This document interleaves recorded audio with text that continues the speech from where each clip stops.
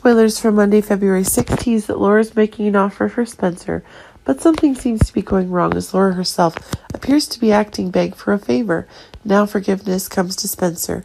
Laura herself is realizing that the dangerous actions Nicholas is doing is unacceptable, and thus leading to one of Laura's stronger actions to be able to protect herself, Nicholas. But it seems that when Spencer himself is unable to accept the truth about the dangerous actions that Nicholas has committed, and that's causing a new denunciation action as possible.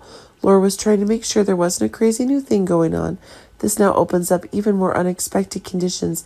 If Laura is begging for a concession from Spencer, then things might be making Spencer's thoughts more and more possible. New surprising facts. Austin is delivering a new announcement for Mason. There seems to be a shift in the very facts that are taking place, and that's causing Austin to think that it is working in Mason's favor. But it seems that things are taking on one of the more surprises when Mason himself is agreeing that it's Esme that's at the core of the problems, but it seems that Ava is taking stronger actions to get it right, stabilize the situation as precisely as possible. It seems that things are now expanding more and more deadly ideas, and that's now expanding further with powerful new actions coming from Mason to take advantage of him. But it seems that Austin is looking to quickly get rid of Mason's influences, and that's causing him to agree that there will be one of the new surprises in the very actions Austin is trying to push Mason to. Dangerous things to put an end to this toxic relationship.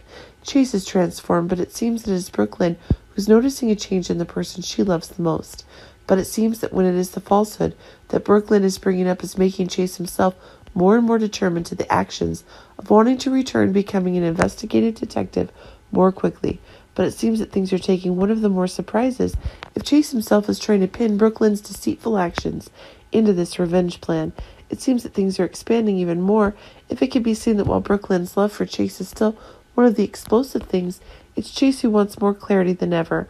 Run out of. It's these things, tensions, that are turning things upside down faster than ever, and it's possible that a new disaster is coming between the love that Chase and Brook Lynn have.